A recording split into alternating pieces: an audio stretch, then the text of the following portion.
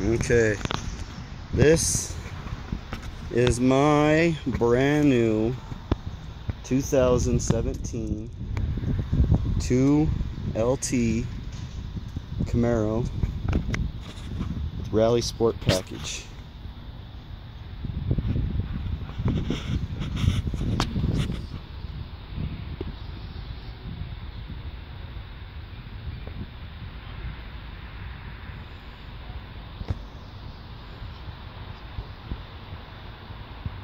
This car cost me just under $40,000.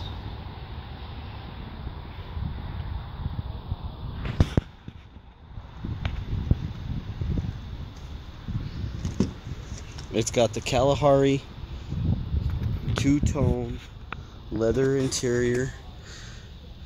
It's got the Bose stereo system in it.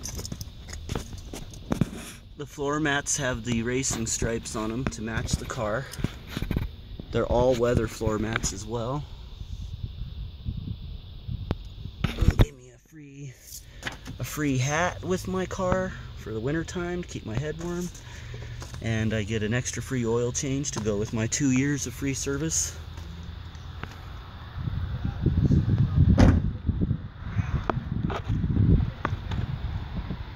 Now I've only had this car, today's day number four, and the fucking idiot who was just detailing it opened my car door into another car.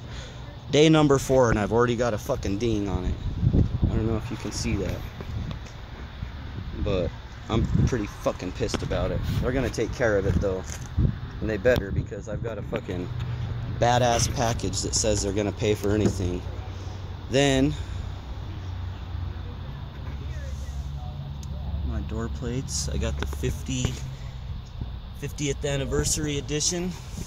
I was told by the dealership that I was the first one to buy a 50th anniversary out of their dealership. And when I went to insure it, I had to actually wait because Progressive was, um, they had to code their computer to accept my car.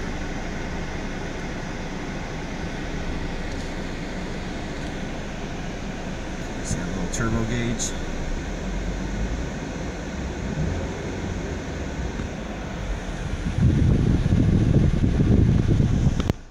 Well, this is it. This is me. This is what I've worked so hard for. Go out and do something for yourself.